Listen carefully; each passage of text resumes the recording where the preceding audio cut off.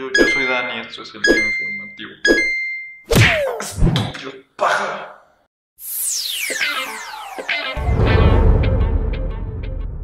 Doug Nugent regresa y si no recuerdan este nombre es el creador de Flappy Bird. Y su nuevo juego no se ve nada como la imagen que vimos hace algunos meses. Este nuevo juego es de un pequeño helicóptero que muy a la forma de Flappy Bird va esquivando cosas, pero esta vez en vez de ir hacia la derecha, va hacia arriba, porque es un helicóptero.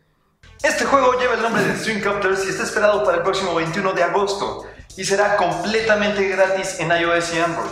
Lo siento usuarios de Windows Phone, no hay juego nuevo para ustedes. Díganos qué les parece este juego y si creen que le irá tan bien como al anterior.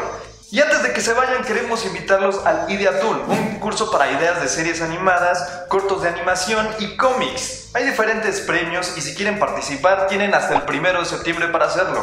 Dense una vuelta a ideatoon.com para saber más. Eso ha sido todo por ahora. Denle click en las anotaciones que están aquí al lado, denle pulgar arriba para apoyar el show y suscríbanse. No olviden seguirnos en nuestras redes sociales. Yo soy Dani esto es el Kibo Informativo.